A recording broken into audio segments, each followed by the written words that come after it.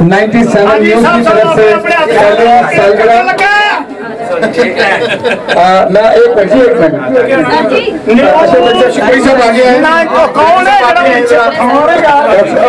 صاحب آپ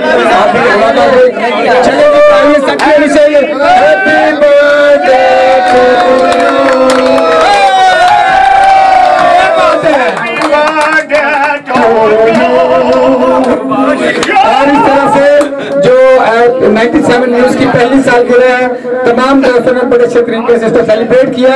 ایک مرتبہ پھر نائنٹی سیون زندہ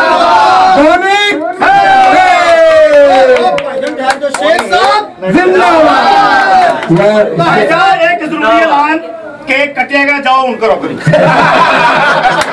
سب کو خطابات دے دیا عائشہ بے پیسہ تو آپ ہی سائٹ پہ ہے نا تاہر صاحب کو آگے کرے یاروں پر گلا بھی میڈم آپ ہی ہے نا آپ آگے ہیں ہلو میڈم صاحب کے کی طرف سے شیخ صاحب بھی شیخ صاحب دونوں پارٹنرز اس وقت موجود ہیں سٹیج پہ اور 97 نیوز کی جو پہلی سال گرا ہے جو بیٹی صاحب نے پودا لگایا تھا آج اس نے پھل دینا شروع کر دیا ہے اور بڑا اچھا لگ رہا ہے کہ تمام دو جتنے بھی ہیں جو تمام لوگ خوش ہیں۔ اور علی محمد حسن روایت خاتون کو ضرور کھلاتے ہیں پروگرام میں۔ ٹاپو صاحب کے گلاس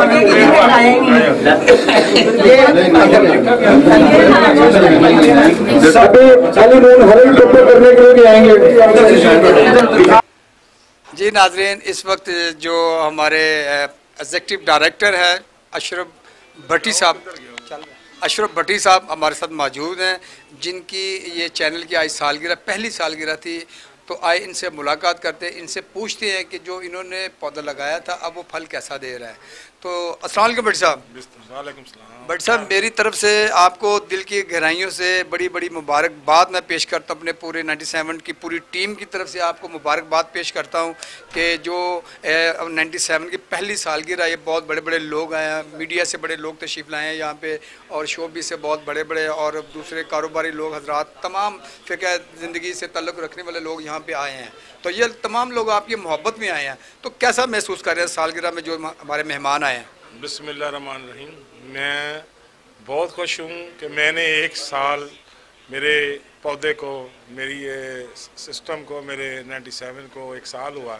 میں اس پہ اتنا خوش ہوں کہ میرے اندر خوشی جی، جی، جی۔ جتنی خوشی ہے میں بتا نہیں سکتا۔ تو اللہ تعالیٰ نے مجھے ہمت دی اور میں انشاءاللہ ہر سال اسی طرح سالگرہ مناتے رہیں گے ہم۔ بڑی صاحب، بڑی کوشش کی آپ نے کہ اس ایونٹ کو آپ الحمرہ میں لے جاتے۔ بالکل لیٹر کلیئر تھا۔ صبح تک تو تمام لوگ لاہور میں شور شرابہ پڑا ہوا تھا کہ جی نائنٹی سیون نیوز کی سالگرہ ہے اور بونی کے ساتھ مل کے یہ الحمرہ میں کر رہے ہیں۔ تو پھر اچانک صبح جب آپ کو فون آیا تو انفارچونیٹلی وہاں سے پھر یہ ڈسمس ہوا پروگرام تو اس کے بعد پھر کیا سوچا؟ کہاں پہ کریں گے آپ؟ میں پہلے نمبر پہ الحمرہ والوں نے ہمیں تھوڑا سا لیٹ بھی کیا لیکن ان کی بھی مجبوری تھی کیونکہ پتہ چلا کہ گورنمنٹ ان کو پریشر کی آٹھ کلاب پہ نا میٹنگ ہوئی تھی ان کی۔ جی، جی۔ ان لوگوں نے نا گورنمنٹ نے اجازت نہیں دی اجازت نہیں دی۔ اور انہی کو انہوں نے نا بیس کو پہلے تھا جی۔ ان کا پروگرام لگانے کا۔ انہوں نے انہی کو لگا دیا۔ تو ہمارا ان ٹائم جو ہے نا مسئلہ ہم نے گڑبڑ ہوا جس کی وجہ سے ہم نے اپنے دفتر میں یہ میرا آفس ہے میرا آفس ہے۔ تو اس لیے ہم نے بہتر سمجھا کہ ہم آفس میں ہی کیونکہ ہم چاہتے تھے کہ جو ٹائم ہے نا اس ٹائم پہ ہم لازماً اپنا یہ کیک وغیرہ کاٹیں اور لوگوں کو انجوائے کرائیں۔ تو آپ نے دوستوں کو بلوایا تمام دوستوں نے بڑا اپریشیٹ کیا آپ کو یہاں پہ آ کے بڑا اللہ گلہ کیا۔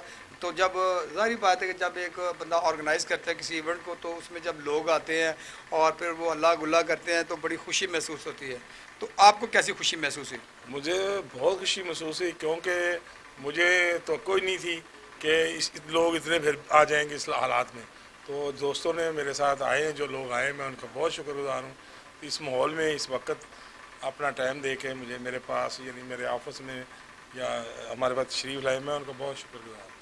تھینک یو ناظرین دیکھیں کہ جیسے ہمارے ایگزیکٹو پروڈیوسر بھی ہیں اشرف بھٹی صاحب انہوں نے دوستوں کا شکریہ بھی ادا کیا اور بڑی خوشی کا اظہار کیا کہ اس مشکل حالات میں تمام لوگ ان کی خوشیوں کو سیلیبریٹ کرنے کے لیے بونک کے اسٹوڈیو میں تشریف لائے سر آپ کا بہت شکریہ علی بھائی